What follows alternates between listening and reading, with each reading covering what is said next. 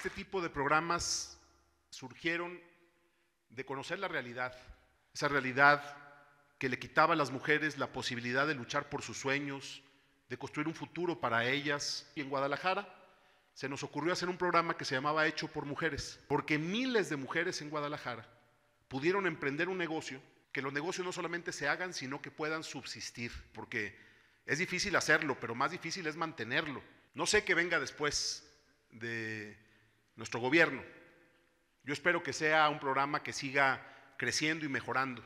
Fíjense nada más que importante el poder hoy incorporar el tema de cerrar la brecha tecnológica. Hoy tenemos 1.946 beneficiarias de 2024.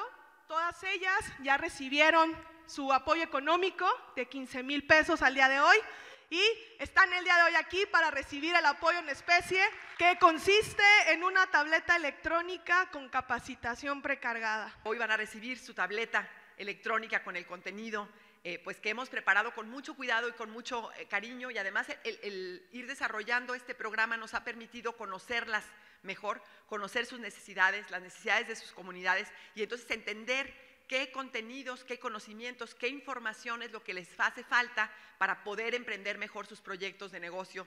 Porque entregar una tableta, pues podría ser un asunto vacío, hueco. Lo que estamos entregando es una herramienta de trabajo y una herramienta de, para la capacitación y la formación de todas y todos ustedes. Aprovechenla. Independientemente de lo que venga en el futuro, eh, aunque yo esté retirado de la política, aquí voy a estar siempre como amigo para lo que se ofrezca, porque nunca voy a olvidar el apoyo de todas y todos ustedes durante muchos años. Muchas gracias. Muchas gracias. Que vivan las mujeres de Jalisco.